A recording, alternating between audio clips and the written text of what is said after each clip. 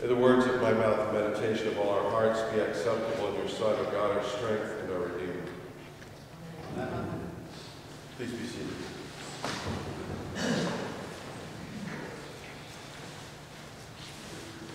Today we have a double dose of the prophet Isaiah, continuing our ongoing uh, conversation and uh, the themes of the prophets being who are guiding our paths as we move toward the end of our liturgical year.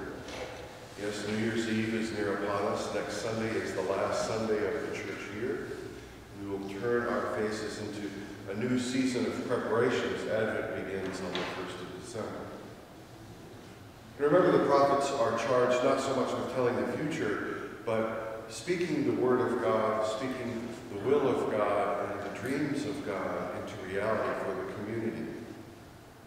This is especially true for Isaiah, as Isaiah's community is a, one, is a community that is in exile. First with the Babylonians and then ultimately returned to the Holy Land, to Jerusalem, uh, by the Persians, by King Cyrus, who commands that the city of Jerusalem be rebuilt after the sacking of Jerusalem. This is a community of people who have had some very high highs with the establishment of the kingdom of Judah, the kingdom of Israel, the glory days of King David and King Solomon, though, are but a distant memory for the people. And it is tough for them to hang on to anything that resembles hope for the future because their understanding of what it meant to be the chosen people of God to be established in a place with a nation and uh, particular strength seems to have evaporated.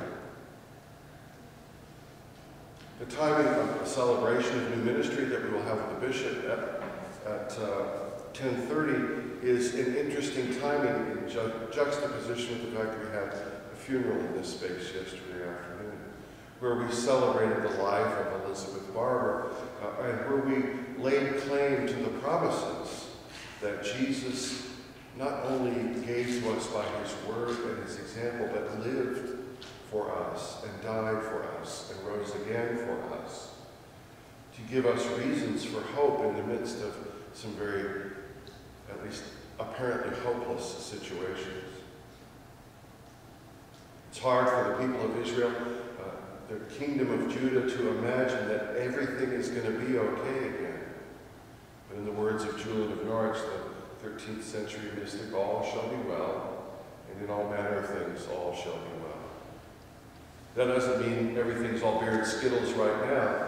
It's just that God will work God, God's purposes out. And as we have the benefit of knowing the end of the story before it's all told in the liturgy, we know that the ultimate end of the Bible is that God wins. And if God wins, so do we. It might help us to reformulate what our notion of winning is. We live in a highly competitive society. And if you don't believe that, I'll fight you over it. That's, a little joke, really more than a joke. we, we fight about some of the most uh, mundane things, and I mean that in the, the sense of worldly things. But it seems to me that the prophet is saying in this morning's early reading that we can put that aside, that we can trust in the fact that God will win, and that God makes a specialty of pulling opposites together. I've served some diverse churches. Uh, when I served at St. Mark's in, in Hampton, uh, a very diverse church, socioeconomically. Um, we were about half black and half white in the congregation, about a half gay and half straight in the congregation. People who would not normally gather together coalesced around the gospel, the good news of God in Christ. And at first glance, St. Thomas is a much more homogenous group of folks. But that's just at first glance. If we try and figure out by looking at folks who they are, we can make assumptions about people that are inaccurate and ultimately unhelpful for the nature of community. The diversity that we share is one that I think can be an example to the world in our day and time that is important and not so obvious. I know in having conversations with a number of folks that our beliefs and our uh, practice spans the gamut politically. And yet there is something about the gospel that brings us all together. Brings us all together here and allows the possibility of genuine dialogue and conversation to unfold around a deeply held truth that God is God and that we are not. And that there is no person that exists on the face of this earth that I cannot learn someone, something from. It is only when we come to any kind of relationship with the vulnerability to be hurt and to have our views challenged that we can grow into anything like the glory of God as reflected in the promises that Isaiah gives in the reading for today and that we lay claim to as followers of Jesus Christ. We not, need not be of like mind to have the same heart in us. And it is a heart that Ezekiel the prophet said God longs to put in us, that Joel said that God longs to put us, to take out our heart of stone and replace it with a heart of flesh. I was reminded of uh, the juxtaposition between life and death and resurrection yesterday and what we celebrate as the people of God here every Sunday. As I heard the first part of the Old Testament reading for the funeral yesterday. And it starts in uh, Lamentations chapter 3, verse 22, says, The steadfast love of the Lord never ceases. His mercies never come to an end. They are new every morning. Great is your faithfulness. The Lord is my portion, says my soul, therefore I will have hope in him. To have hope is the necessary condition of a life lived for the kingdom of God. And if, as Isaiah says, that God is about to create a new heaven and a new earth, we should be hopeful people. We should put our hope in God and God's purposes, which are at most confounding and at least a wee bit mysterious for those of us who see only with the dimensional eyes of humanity and not with the divine foresight of the longer arc of the narrative between God and his people. And I thought that was a strange text to lead off with, especially in a book that's called Lamentations. There's not a whole lot of lamenting that goes on in that particular verse. So I backed up to verse 19. The thought of my affliction my homelessness is wormwood and gall. My soul continually thinks of it and is bowed down within me. But this I call to mind, and therefore I then goes on to proclaim that the steadfast love of God never ceases, regardless of our apparent circumstances, the ultimate reality that we live in as people chosen by God for the building of the kingdom of God is that we are marinated in hope. We are marinated in the hope that is God's love for us. In seminary, we were required for our ordination to have a certain competency in one biblical language. I chose Greek.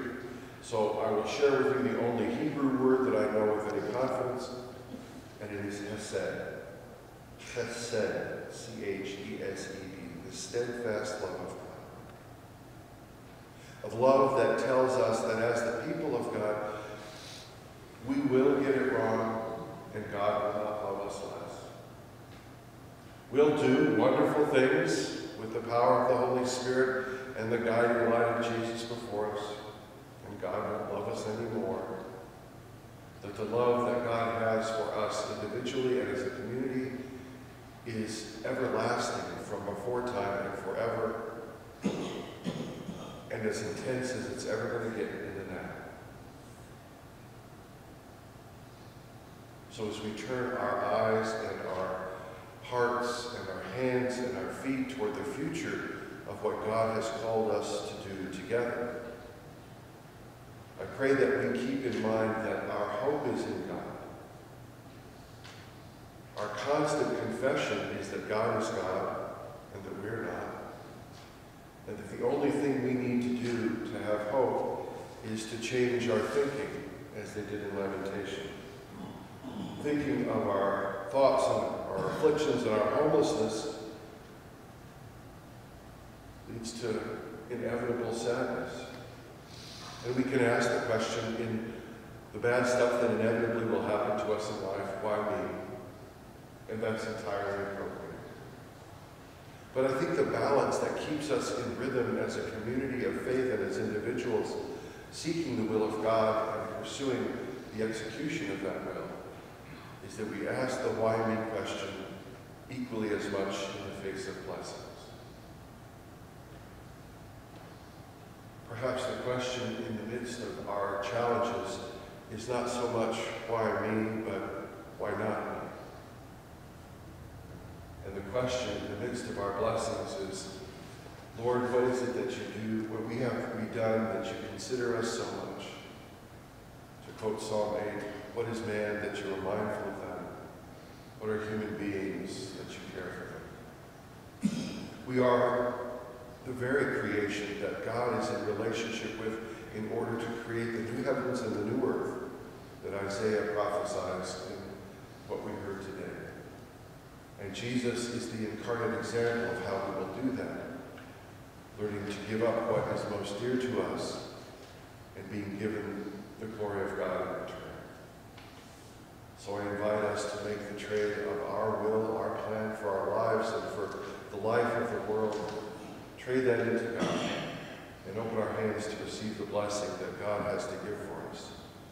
Hope for a new creation, a new Jerusalem, one that is steeped in joy and gives hope to all people, regardless of who they are, where they've come from, or where they think they may be.